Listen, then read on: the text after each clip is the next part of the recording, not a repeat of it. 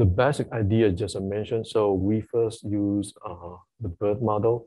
Here's the diagram uh, they provide. So um, in original BERT model, you, um, let me see, okay.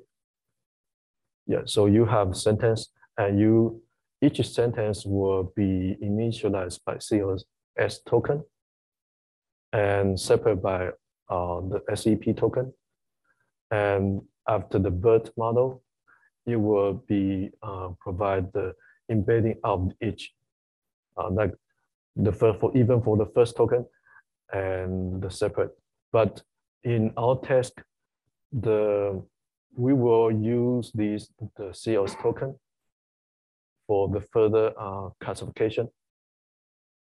And and as the um, their papers mentioned, so the CLS token will have provide better aggregation information for the each sentence. And so yes, so we based on this knowledge, so we have we can construct the uh,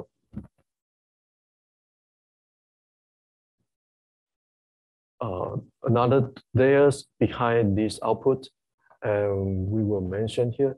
So let's skip the the token uh, the type of embedding here. So it's it's based on the BERT model. So and and yeah, here just remind the the the BERT uh, module is based on this. So we have multiple attention uh, from the previous input and combine the previous input together and normalize and put them back to the feed forward. And that's one complete uh, encoding module. And similarly, we need this for uh, the text extract model. So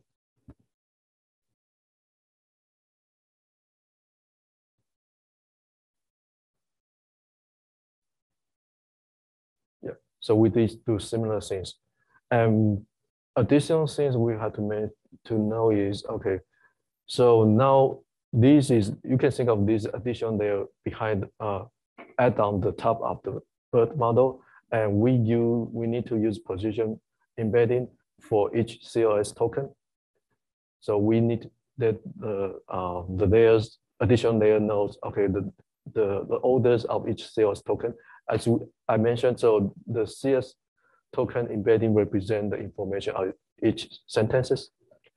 So based on this, so it tried to um, the layer these layers try to um, do some classifications of each layers and to mark which one is more important. And but the mechanism also based on the attention. So that's the um, key structures. And then, yeah, so to build this uh, summary model in Wolfram language, there are several ways. Um, the first part would be uh, the, the challenge because some layer maybe not exist. So let me skip this part. So yeah, and so I need to build uh, the model from scratch. And yes, so so here let me show you the uh, the principal structures here. So um, here's the text input, and it could be tokenized.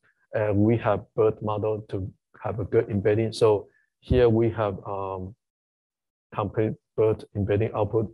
Now we have the second input to extract the CLS, uh, CLS token for each sentences.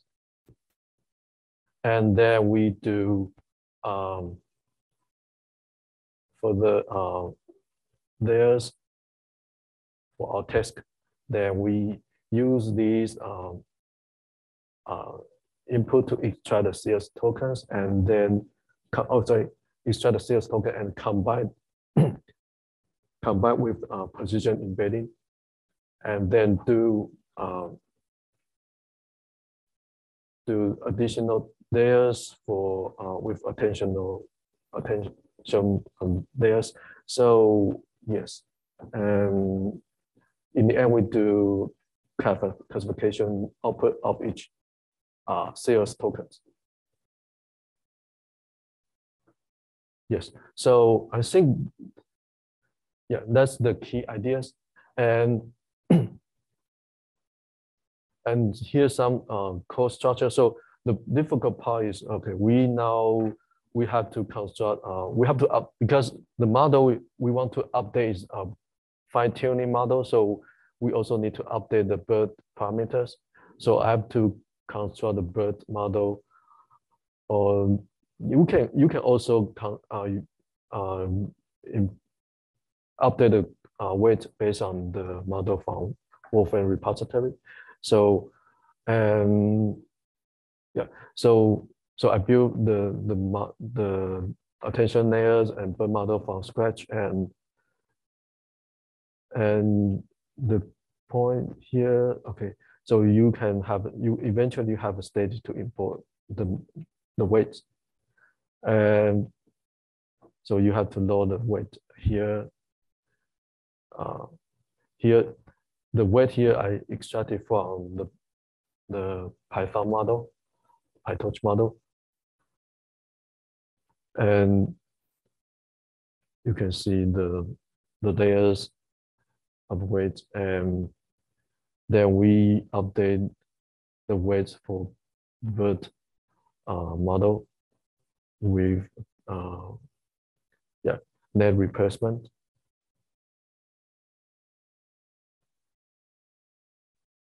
And also for, for the classification layers of our test, we also need to update its uh, weight. And yeah, then for the debugging, so yeah, um, because there are too many weights, so there is some difficulty to do uh, debugging. So, but you can just follow this rule to check it and. And also you can check the output compares to the Pythons, the layer output compared to Pythons. And yeah, that's it. So in the end, we I can show you the result. Uh, we have, uh, because these are internal um, uh, consulting project. So we uh, work with uh, our engineer Bingyat, and we do this one years ago. And yes, so you can see that works. So you can check uh, for given text input, we can have, we can highlight the summary because now we focus on two sentences here of three sentences. So we will highlight the sentences.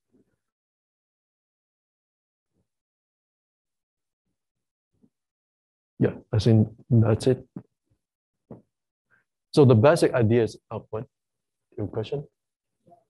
Okay, so I think the the key point is we use BERT to generate appropriate embedding for each sentences.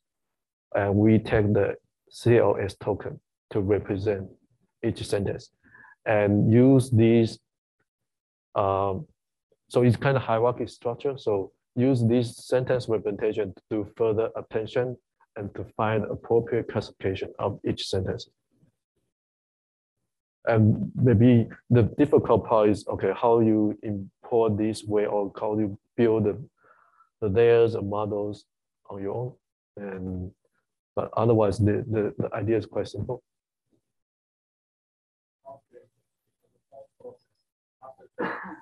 Yeah, that's the uh, second uh, addition they are doing. Yeah, because um, once we get the representation or the, the vectors of each sentence, because in the net, all sentences will be represented in vectors because only numbers we can deal with. So yeah, and based on these vectors or numbers, the uh, additional attention layers will will deal um, deal with this sentence at the same time. Just is similar to the BERT model deal with the words at the same time to to get the uh, representation representation of the sentences. So it's similar way. So uh, maybe a bit confusing, but let me check. Uh, so for example, the BERT, you can see the BERT output will be, if you have n, n words, then we have an output. Yes. Yeah. Yeah.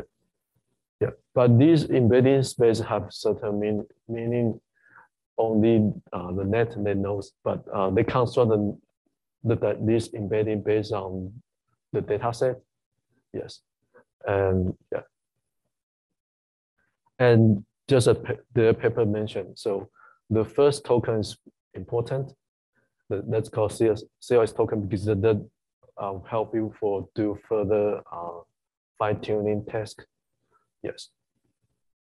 If you have such, because 10,000 uh, document, you have to label it. Because here we have uh, supervised training. So yeah, so yeah, so for each document input, we we label the important sentence.